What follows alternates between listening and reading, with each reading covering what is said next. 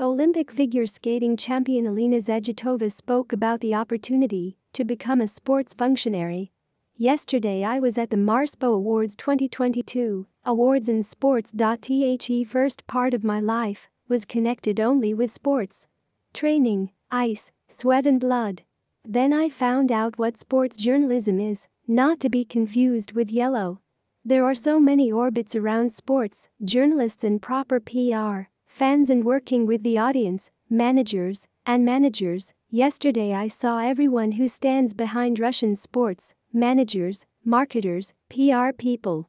So many amazing large scale projects, Yesterday's award arena, ice, football field, court the battlefield of sports managers. This year I won in the nomination Athlete of the New Time. The jury of the award gives it to athletes who begin to be realized in new roles.